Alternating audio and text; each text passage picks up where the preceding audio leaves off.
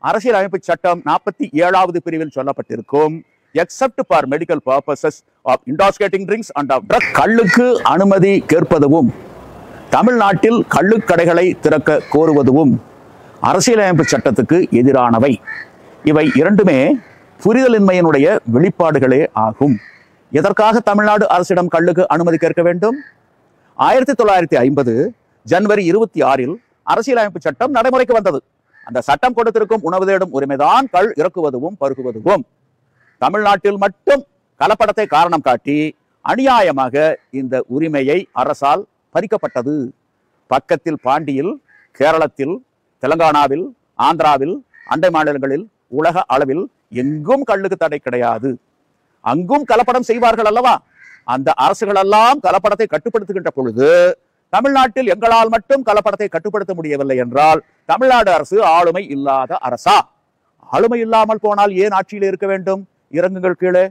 கள் கலப்படத்தை கட்டுப்படுத்தக்கூடிய ஆளுமை உள்ளவர் திறமை மிக்கவர் அந்த முதல்வர் பதவியில் அமரட்டும்.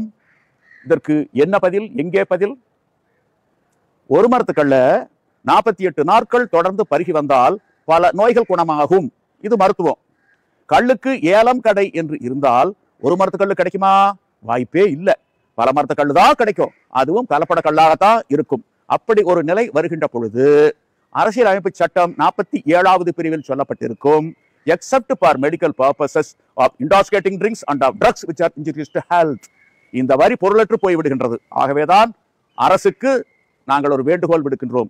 கல்லுக்கு தடையும் வேண்டாம். கல்லுக்கு கடையும் வேண்டாம். கல்லை உணவாக அறிவித்து விடுங்கள். அரசியலமைப்பு சட்டத்தையும் உலகளாவிய நடைமுறையையும் ஏற்று நடக்கக்கூடிய ஒரு நிலைமை தமிழ்நாடு அரசுக்கு வர வேண்டும். ஆகவேதான் இவற்றையெல்லாம் முன்னிறுத்தி. வரும் ஜனவரி மாதம் இருபத்தொன்னாம் தேதி முதல் தமிழ்நாடு முழுவதும் கள் இறக்கி சந்தைப்படுத்தப்படும். தமிழ்நாடு அரசு கள் இறக்குவோர் மீது நடவடிக்கை எடுத்தால் நாங்கள் கேட்கக்கூடிய ஒரு கேள்வி. நாங்கள் அரசியலமைப்பு சட்டப்படி கல்லை இறக்கி சந்தைப்படுத்திக் கொண்டிருக்கின்றோம். நீங்கள் தமிழ்நாடு மதுவிலக்கு சட்டப்படி எங்கள் மீது நடவடிக்கை எடுக்கின்றீர்கள். அரசியலமைப்பு சட்டத்துக்கு கட்டுப்பட்டது மதுவிலக்கு சட்டமா? இல்லை மதுவிலக்கு சட்டத்துக்கு உட்பட்டது அரசியலமைப்பு சட்டமா?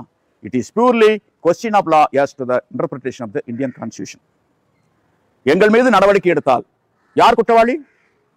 அரசு குற்றவாளியா? இல்லை கல் இறக்கியோர் குற்றவாளியா? அரசுதான் குற்றவாளி கல் இறக்கியோர் குற்றவாளி அல்ல. The government of Tamil Nadu is the accused person not the toddy tapper எங்களிடம் நூற்றுக்கு நூறு நியாயம் இருக்கின்றது. ஒளித்தக்காலன் நாம் ஒரு எலிப்பகை நாகம் உயிர்ப்பக்கெடும். என்னதான் ஆயிரக்கணக்கான எலிகள் ஒன்றிணைந்து வந்தாலும் ஒரு நாகம் தலை தூக்குனா காத்துப்பட்டா எலிகள்லாம் மடிந்து போய்விடும். அதே போல எங்களிடம் நியாயம் இருக்கின்றது. எப்படி ஜல்லிக்கட்டு போராட்டம் ஒரு வெற்றியில் முடிந்ததோ அதே போல இந்த போராட்டமும் வெற்றியில் முடியும். இளைஞர்களும் இயற்கை ஆர்வலர்களும் இதில் ஈடுபடுத்தப்படுவார்கள்.